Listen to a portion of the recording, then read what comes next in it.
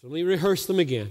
Verse 3, verse 9. Father, cause your great holy name to be honored and reverenced and esteemed and treasured and loved and valued above all things. This is the feel. Um, my voice is intending to communicate how big and strong and deep and wonderful are these three petitions. Father, verse 10 Cause your glorious, sovereign, kingly rule to hold sway without obstruction everywhere in the universe. And right here, especially.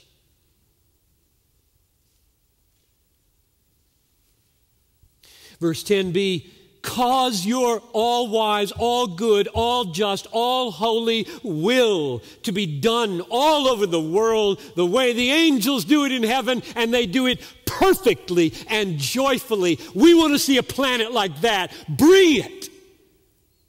And end of the big part of the prayer.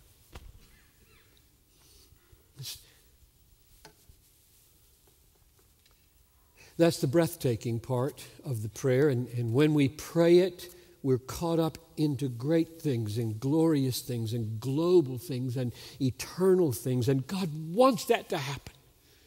I mean, you, you may feel just so absolutely ordinary. Like, I understand the second half of this prayer. I'm there, I live there, and, and I am in this message saying, Come on up, come on up into the first half of the prayer as well. Never take your feet off the ground. Never think you can go without food. Never think you can go without being forgiven and forgiving.